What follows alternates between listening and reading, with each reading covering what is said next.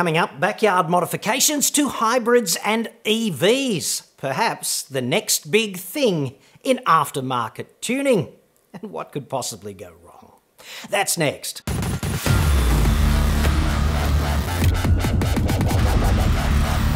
I'm John Cadogan from AutoExpert.com.au, the place where Australian new car buyers save thousands off their next new cars. Hit me up on the website for that.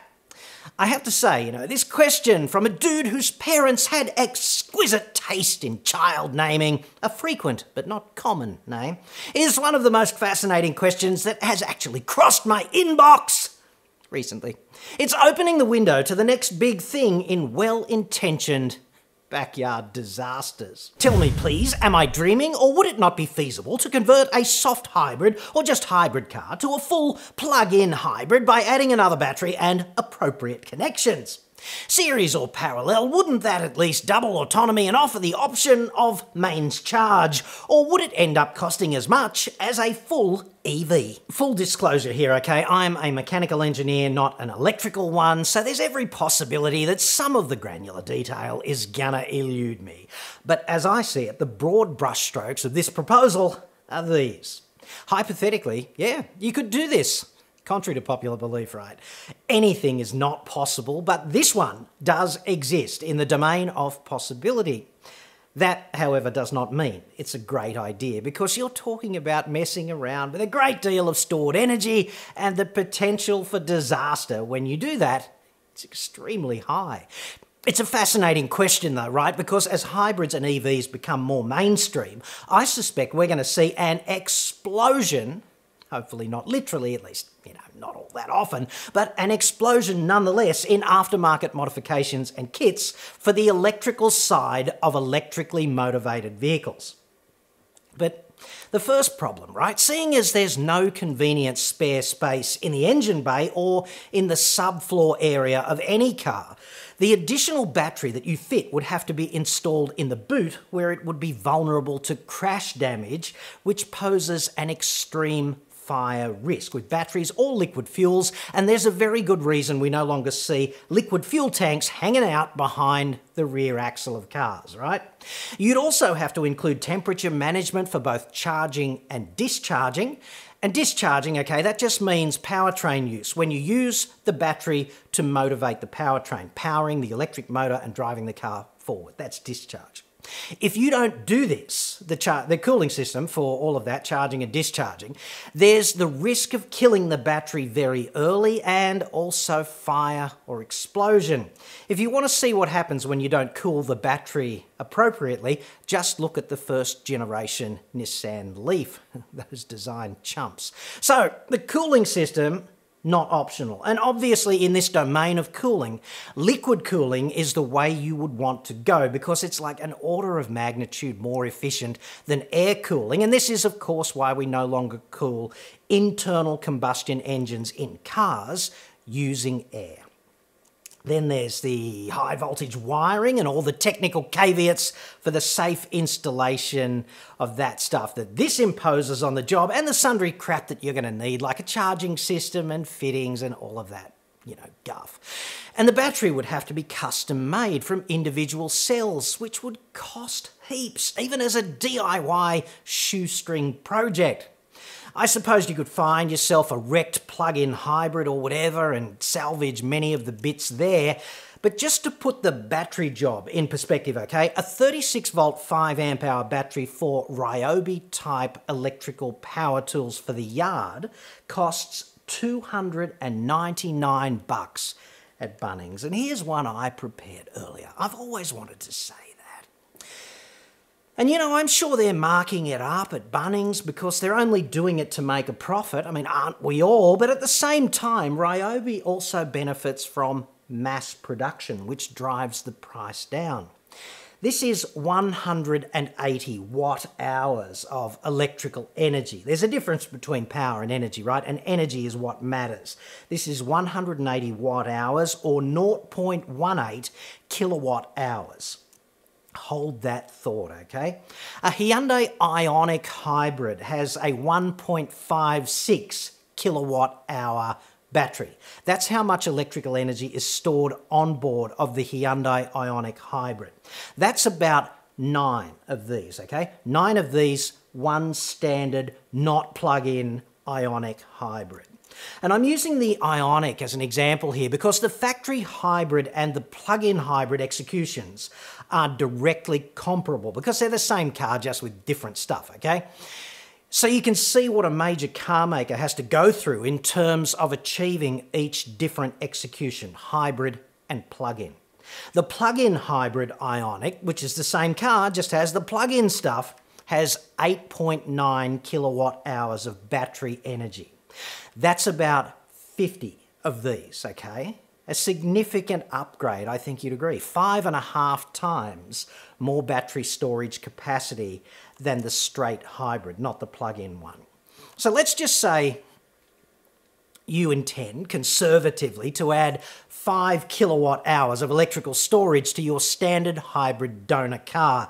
You'd have to find a spot for 30 of these batteries, near enough. At the same price per kilowatt hour as this Ryobi battery, that's about 30 times the energy, so 30 times the price, or about 9,000 bucks retail. You could just go and drop 9 grand on these and there's your battery. Just for battery like these, off the rack, okay? Jaycar Electronics, a electronic retailer here in Shitsville, will sell you 18650 type lithium ion rechargeable battery cells. They're unprotected battery cells for 12 bucks 45 Australian each as a bulk buy. They're 9.62 watt hour batteries. So you'd need 520 of them for five kilowatt hours, and that's going to cost you about six and a half grand, which is a significant saving. And of course, you'd need to figure out how to wire them all up together robustly and protect them against overcharging and discharging and overheating, which in itself, I think you'd agree, is a serious engineering job and one that you really would not want to get wrong. You'd probably buy the individual cells cheaper from, I don't know, China, and if you do it from scratch, you really do need a spot welder for joining them all up. Soldering, right? So amateur. And you'd need a laser cut wiring grid cut from, I don't know, stainless steel sheet or something like that, and a bunch of additional components such as a complete heat exchanger setup that works, mechanical damage, containment enclosure, uh, protection circuit, thermal overload protection, etc. It's starting to sound like a big job, isn't it? I'd buy a fire extinguisher too if I were you, a big fuck off one. Just look up, look up fuck off fire extinguisher on Google. Get one of those. I'm funny like that. It's doubtful to me that you could do this on a shoestring for less than about 20 grand, and that's not including your own time, okay? And bear in mind that you can't just do development of this kind in one hit. You don't go from bright idea to production ready in this kind of complex domain in one iteration, one evolution of the product. You'd need a prototype, and then you'd need a second prototype incorporating a bunch of refinements that were basically what you learned from everything you got wrong in prototype number one. And then hopefully, if you're really highly skilled, you'd be kind of production ready the third time around. So, ah, it 30 grand if you want to do this kind of right. And if you can successfully reuse a bunch of the critical components from each of the previous prototype iterations to save a bit of money. At this point, it behooves me to point out that it's cheaper just to go out and buy the plug-in hybrid, which is about six and a half grand extra in the case of the Ioniq.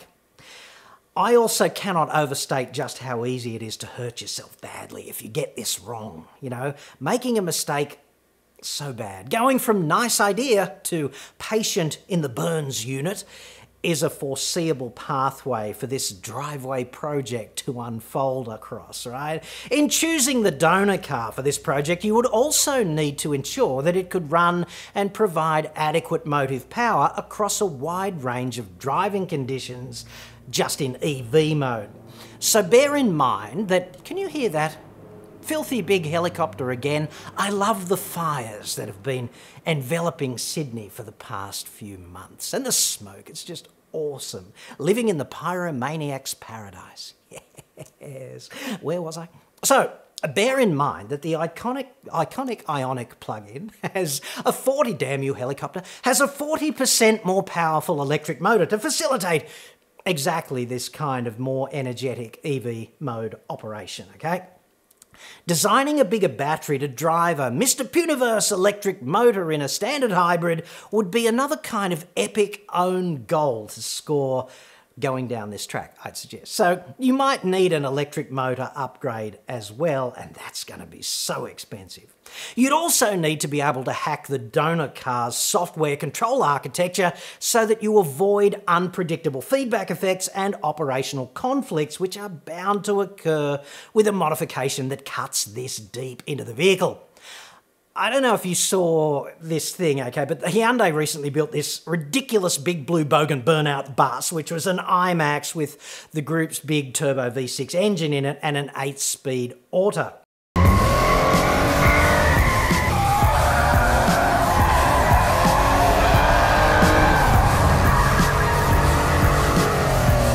One of the biggest parts of this project, which they don't talk about, and which they'll probably hate me for talking about, was solving exactly those kinds of software conflict issues. And they had full plug and play operating system access. And they had all these conflicts like when we do this, this happens, and this system kicks in, and how do we turn that off? And take away the friggin' number you first thought of. I mean, Jesus, it's complex. So your job, hot rodding the plug-in, right, is going to be very difficult indeed, I'd suggest, without manufacturer support, and you will definitely not get that. Then you have to fail-safe the installation, okay? Fail-safing, so important. You need to do that so that you don't make the news in some spectacular pyromaniacal fashion, you know, dropping Jimmy and Jemima off to daycare one morning and then Mount Vesuvius. If you are successful at the end of this odyssey, hashtag doubtful, the resulting car is also going to be uninsurable. And you can't just not tell your insurer that you've done this because that's kind of a failure of your duty of disclosure. So you will pay the premium, but you'll be uninsured in any case. And this means if you are a full on electrical engineer with high level electrical trade skills and you have access to a full on prototype development workshop with fire suppression and a hard line to the local burns unit, let's not forget, you are not dreaming. Otherwise, you pretty much are.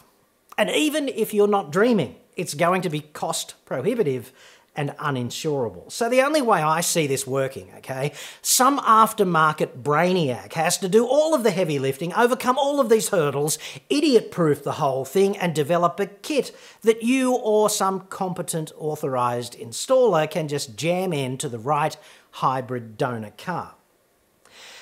You'll have to watch this space. I can't see any of those currently available online. They'll just have to get the numbers right, of course, to the extent that you can open your wallet and do the job for less than the cost of a brand new plug-in hybrid off the shelf from a car maker. That is going to be a significant challenge, but I am absolutely certain aftermarket mods to EVs and hybrids are just around the corner. And one thing I can assure you, gonna be interesting.